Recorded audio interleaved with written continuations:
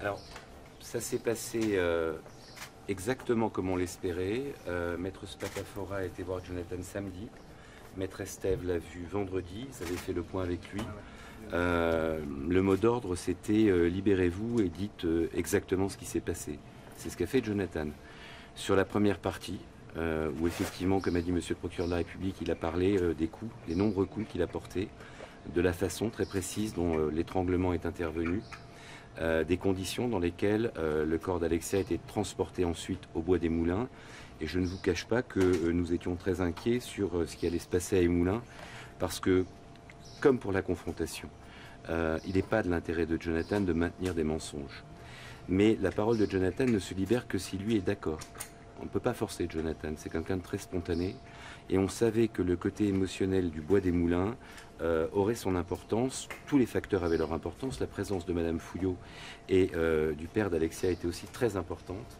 Et effectivement, tous ces paramètres, à un moment, ont permis de déverrouiller Jonathan, qui lui-même s'estimait complètement verrouillé et dans l'impossibilité euh, psychique de s'exprimer sur ce point-là. Euh, et il l'a fait spontanément, j'ose le dire, sans qu'on lui pose de questions. À un moment où il était bloqué, il a su lui-même avoir l'énergie pour le faire. Et je vais vous dire une chose, euh, je sais que je vais encore être critiqué, mais euh, ce qu'il a fait est extrêmement courageux.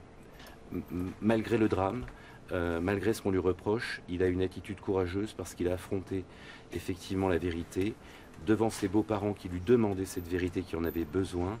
Il y avait une émotion énorme à ce moment-là. Euh, on l'a senti et euh, les parents d'Alexia ont remercié chaudement euh, Jonathan pour ce qu'il a fait. Ils ont eu ces mots. Toujours, on est dans un cadre hors norme.